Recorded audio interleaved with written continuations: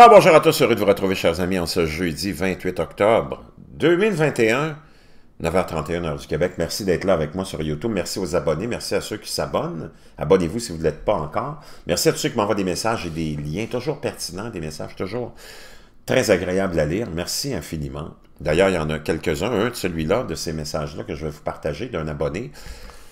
Euh, probablement un compatriote québécois qui m'a envoyé un lien de Météo Média qui nous apprend que 84 cm de neige sont tombés en Californie en quelques jours dans la Sierra Nevada. Ce qui se passe en ce moment, c'est hallucinant. Je ne sais pas ce qui se passe, mais c'est vraiment, vraiment renversant, puis on va aller voir ça ensemble. On n'en parle pas dans les médias, vraiment, mais euh, c'est très fascinant ce qui se passe en ce moment dans, au niveau du climat, puis dans le monde entier. OK, on nous avait dit que la neige disparaîtrait, mais en tout cas, pour l'instant, elle est encore bien présente, bien longtemps après. 84 cm de neige sont tombés. On est le 25 octobre 2021, donc il y a quelques jours en Sierra Nevada. Je vous laisserai le lien de ça.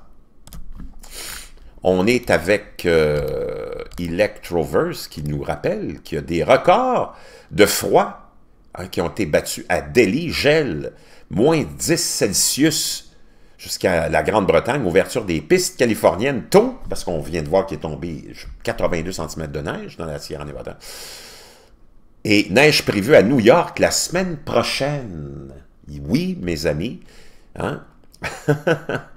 à 44,7, il s'agit du deuxième mois d'octobre le plus enneigé de Donner Summit dans l'histoire enregistrée notée. La zone n'est qu'à 1,9 du record de tous les temps et avec cinq jours neigeux à parcourir. Donc, chers amis, des conditions anormalement froides se sont poursuivies dans la vallée du Cachemire cette semaine. Et euh, on a enregistré des températures euh, très, très froides. Forte chute de neige en début de saison a également recouvert le nord de l'Inde. Donc, beaucoup de neige dans ce coin-là aussi. Les montagnes de la Sierra enregistrent jusqu'à 6 pieds de neige. C'est ce qu'on vient de voir avec euh, Météo Média. Hein? 6 pieds de neige en octobre, des creux records balayent la Scandinavie, une vague de froid remarquable frappe Hong Kong. Les temps froids sont de retour, les latitudes moyennes sont en refroidissement en ligne avec une activité solaire. Tiens, tiens, tiens, historiquement faible des rayons cosmiques. Oh, je vous en parle souvent, nucléaire, les nuages et un courant jet méridien. Il me semble que ça devrait être à la une de toutes les, au moins les bulletins météo.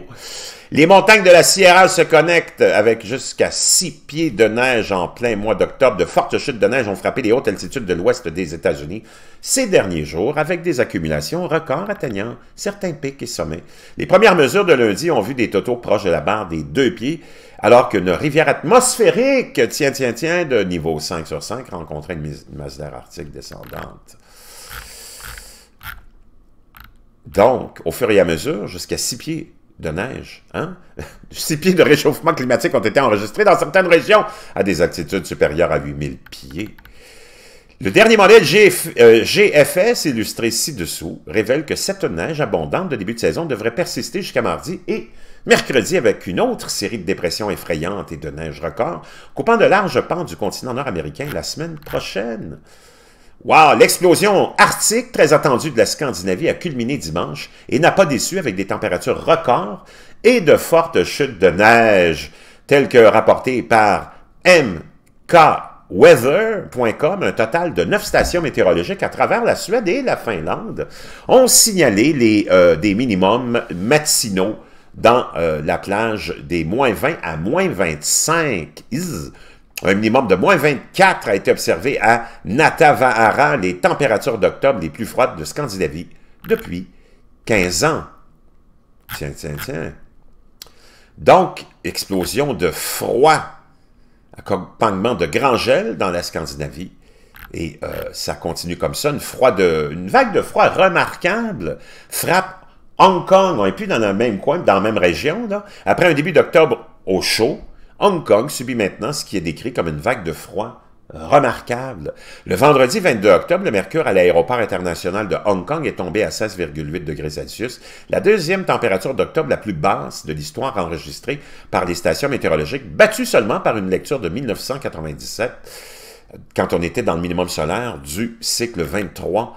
Le pic voisin de Taimo San a plongé à 9,9, la première lecture de Hong Kong en dessous de 10 degrés, également depuis 1997. On voit toutes les températures ici à Hong Kong. Je vous laisserai le lien, tout ça dans la boîte de description. Les temps froids sont de retour. Des latitudes moyennes sont verglaçantes en ligne avec la grande conjonction. Une activité solaire historiquement faible, des rayons cosmiques nucléants les nuages et un courant jet méridien, entre autres. Forçage.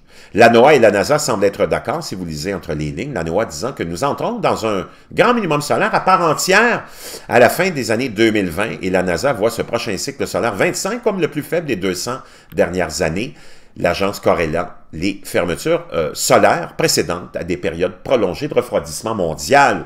De plus, nous pouvons aussi ignorer la latitude de nouveaux articles scientifiques indiquant l'immense impact que le Beaufort gire pourrait avoir sur le Gulf Stream et donc le climat, le climat en général. Donc, très, très fascinant. Je vous laisse tout ça dans la boîte de description, chers amis. Je ne sais pas ce qui se passe. J'ai aucune idée. Je ne suis pas scientifique. Euh, j'aime ça comme vous, me mettre euh, le nez là-dedans. Euh, aucune idée de ce qui se passe avec le climat. Est-ce qu'on s'en va vers quelque chose d'autre, vers un grand minimum solaire, vers on ne sait pas quoi? Puis il n'y a personne qui le sait. La seule chose qu'on sait, c'est qu'en tout cas, la neige n'est pas disparue, le froid n'est pas disparu, l'hiver est encore là, existe encore et il va être dur dans un contexte de pandémie, dans un contexte de crise énergétique, dans un contexte de pénurie énergétique. Je ne sais pas comment est-ce qu'on va passer l'hiver. Puis il manquerait juste une grosse tempête solaire, provoquée ou non, pour qu'on se retrouve sans électricités ou différents modes de, euh, d'énergie. Je ne le sais pas, mes chers amis, mais préparez-vous, comme je le dis souvent, au pire, parce que ça semblerait être possible que le pire, il est vraiment pas encore arrivé, puis il est juste au bout du nez.